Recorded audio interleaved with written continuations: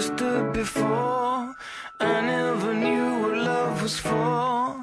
My heart was broke, my head was sore. What a feeling. Tied up in ancient history. I didn't believe in destiny. I look up, you're standing next to me. What a feeling.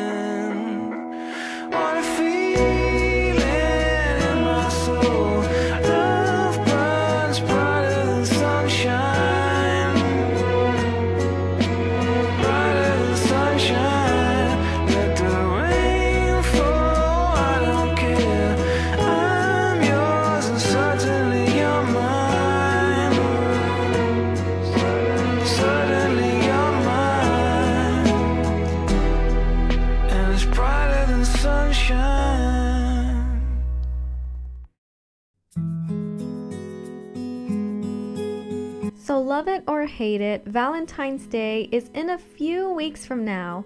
I decided that it would be a perfect time to show you all my personal favorite Valentine's Day looks that I am currently picking out for this year.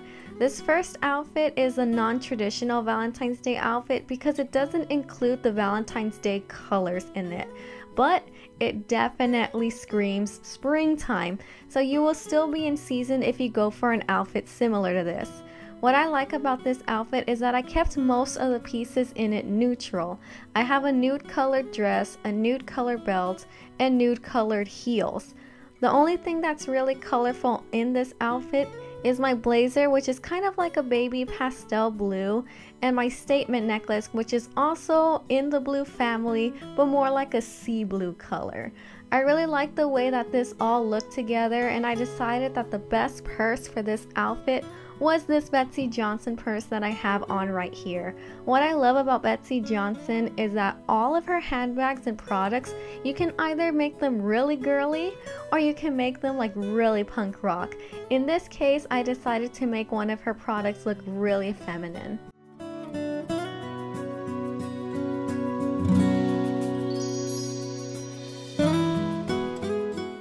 Valentine's Day shouldn't be complicated, and if this year is your first Valentine's Day, then I say just take a deep breath and go with the simple necessities.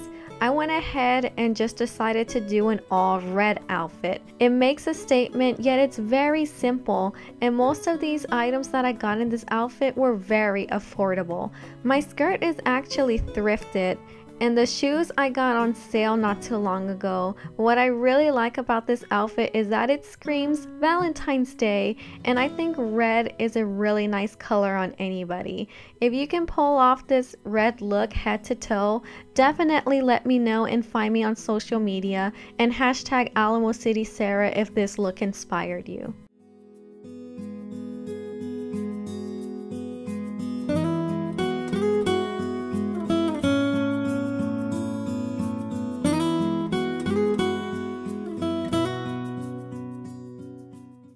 If you have more of an edgy or quirky fashion sense, then this next outfit is definitely for you. It is definitely not your traditional Valentine's Day look, but it is very flirty, very fun, very playful, so I think that this is actually a really great option to wear for Valentine's Day. I really like a good flirty cutout when it comes to tops. I went ahead and paired it with a tapered skirt versus a flowy skirt.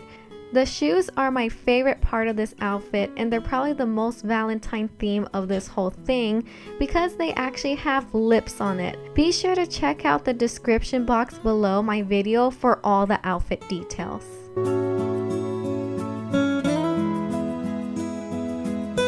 I wanted to save this outfit for last because this outfit really strums my heartstrings. I wore this exact outfit on my very first Valentine's Day with my boyfriend two years ago. He actually bought me this romper. It's a romper, not a dress. And I know when I spun around in the beginning, you guys kind of saw my shorts underneath, but you know what? It's okay. I was having a good time. I really wanted this romper to kind of give off a princessy look, so I went extra girly with this. I kind of just paired it with an over the top heart shaped statement necklace, also in pink. And my heels are some white heels, And just for an extra feminine touch, I went ahead and also threw a little cardigan over it. Well guys, this is going to do for my Valentine's Day outfit video. I really hope you guys enjoyed these looks. Please be sure to follow me on social media if you haven't already. I definitely post a lot of content daily, especially on my Instagram. And remember to look good, feel good, do good, and stay stylish.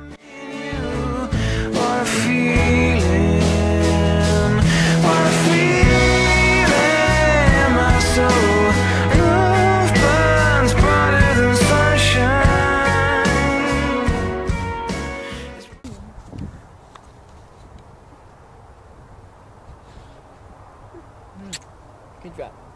You did great. Yeah. All right. It was awesome.